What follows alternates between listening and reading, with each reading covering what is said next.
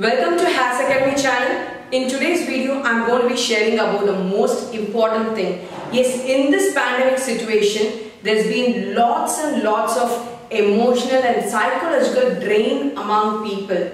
And this is mainly because of the fear, the anxiety of what is going to happen in the future or how they will be able to get over and so many other thoughts that's running and most of them are also going into a, uh, the deepest point of whether they need thinking of whether I need to suicide and other things. So lots and lots of these emotional and negative uh, psychological drain is happening. Now here is what I wanted to tell to all those people.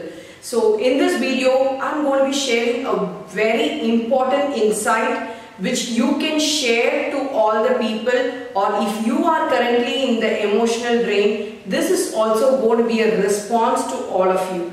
So I have actually seen one of my friend's uh, son playing a video game and when he was doing this he was wanting to achieve the last level, wanting to complete all the levels and succeed. And most of us are going to have the same thing about life. And when he was doing this, there were lots and lots of ups and downs and you know video game has lots and lots of challenges. And in one of the level, he was failing again, again and again. There was a big cliff which he has to jump over but he had to drop down fail again and again and the more and more he failed again and again this video game was designed to bring him back to the same point.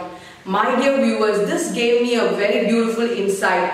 Our life is also designed the same way. Our soul is designed to be eternal and in the same way. Unless we learn the lesson, it is going to bring us to the same point again and again. If anybody thinks that suicide is a remedy for escaping, escaping out of the current situation, I would say that again they have to come and start all over again and still stand in the same point till they get the courage to cross that level. So this is what I want to leave with you as a thought for today. If you are coming across anybody who is thinking of all these suicidal and other emotional drain thoughts, please ensure that you are telling them this story and this is going to make them think how they can ensure that their level is crossed and definitely it is possible. Wishing you happiness and success.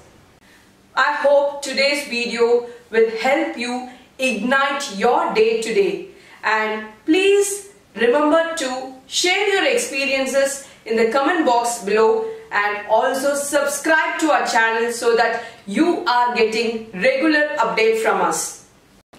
This is Dr. Poorani, founder of Happiness and Success Academy and I'm a happiness and success coach. So far, we have transformed the lives of at least 45,000 people through our training, coaching, mentoring and counseling.